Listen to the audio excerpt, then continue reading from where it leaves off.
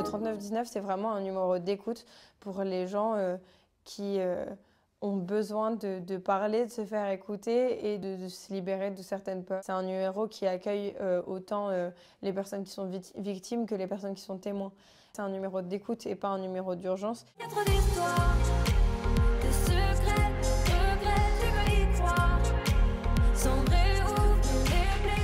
C'est vrai que c'est pas c'est pas anodin. On me demande beaucoup pourquoi en ce moment.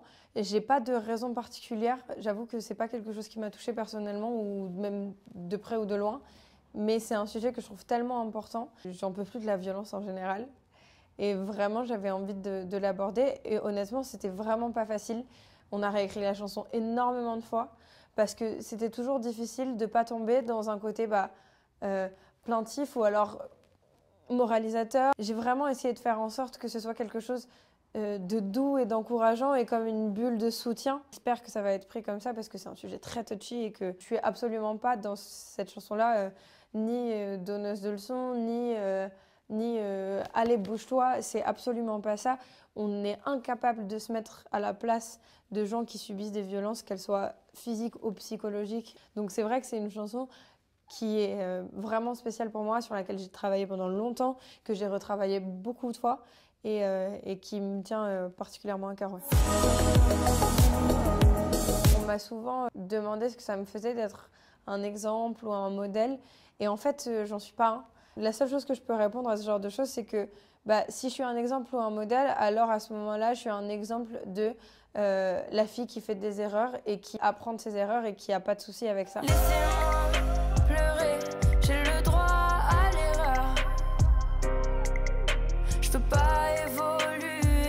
Moi, je pense que justement, avoir la possibilité de se tromper, de faire des erreurs, de tomber, c'est la plus belle chose qui puisse arriver, même si sur le coup c'est difficile, parce qu'on en tire toujours des choses.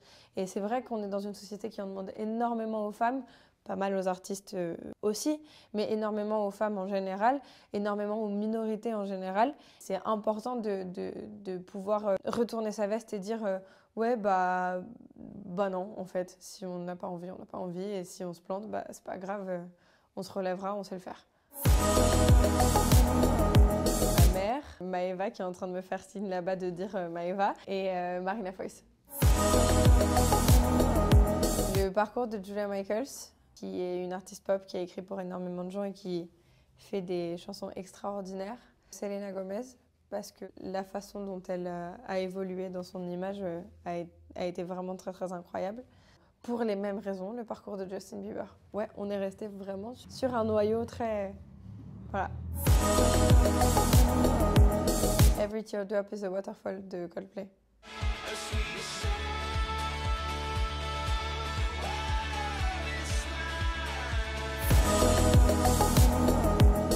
Lâcher, que ça va pas être tous les jours facile, mais que c'est tellement cool et que ça en vaut tellement le coup qu'il que faut pas lâcher.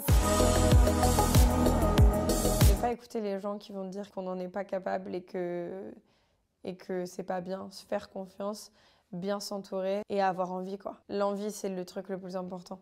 Si ça s'éteint à un moment, bah, honnêtement, c'est mort. Et de faire attention parce que c'est pas un milieu facile. Mara Satei. C'est une euh, chanteuse italienne qui fait des choses extraordinaires.